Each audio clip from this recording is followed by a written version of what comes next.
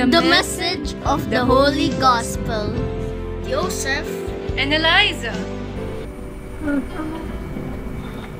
Second Sunday in Ordinary Time.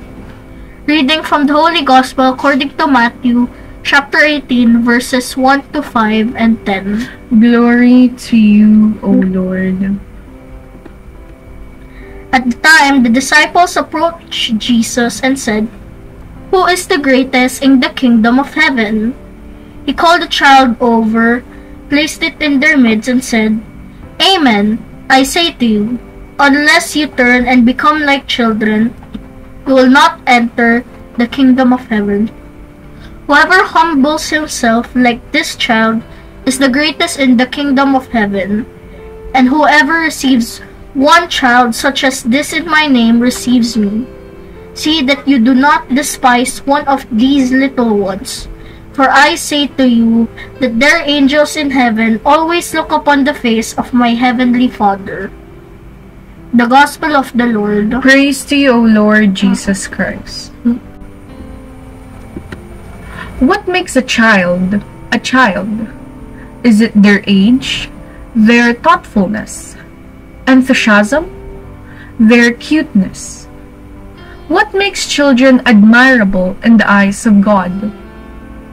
In the Gospel, the disciples were yearning to know who is the greatest in the kingdom of heaven. Each of them were waiting for the same answer. You. You are the greatest. You are the best. You are amazing. They were expecting Jesus to praise them. Their desire to be called great or exemplary must be stemming from the knowledge that Jesus is God. They must know that Jesus is someone far superior than them, which in turn makes them eager for his approval. They wanted Jesus to like them, love them. However, Jesus turned them down. Their greedy hearts aren't what the Lord is looking for. It is the child. But why? What makes children special? Going back to my question earlier, what makes a child a child? Have you noticed something similar among all children? Not their age, gender, or race. Something equally found among all of them. It is their dependency. The way they are reliant towards their parents, seeking support from them, learning how to walk, to write or talk, to study, to answer their homeworks, to spend their money, to save their money, to engage and interact with their friends.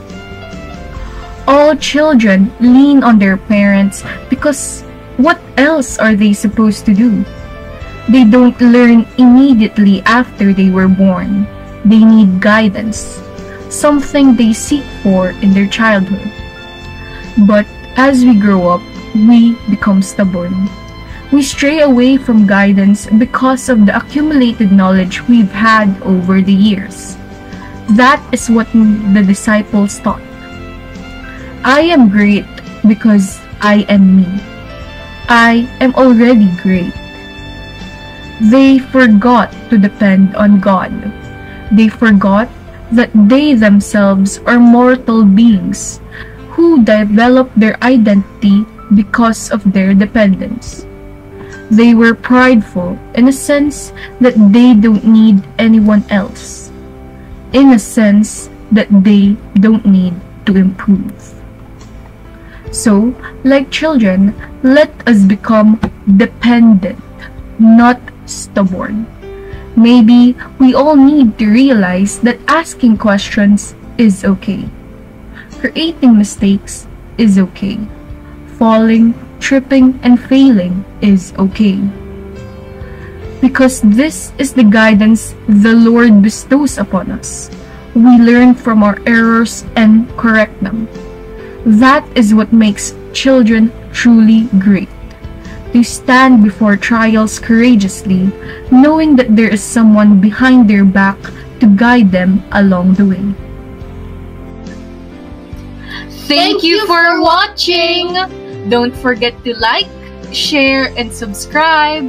God bless. Bye!